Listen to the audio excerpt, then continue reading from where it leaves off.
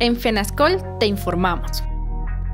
El pasado miércoles 17 de marzo, en la reunión del Consejo Nacional de Discapacidad, se realizó el acto de posesión de los nuevos consejeros para el periodo 2021-2025. El Consejo Nacional de Discapacidad es el organismo consultor, asesor institucional y de verificación, seguimiento y evaluación del Sistema y de la Política Pública Nacional de Discapacidad, Ley 1145 de 2007.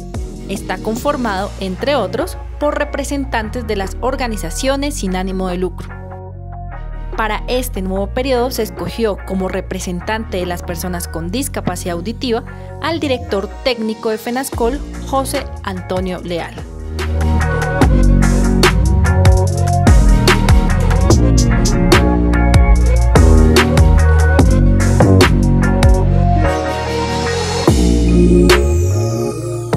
Como federación, nuestro compromiso es trabajar de manera permanente por los derechos de las personas sordas de Colombia y lo seguiremos haciendo desde este espacio de representación. Numeral, la unión es nuestra fortaleza.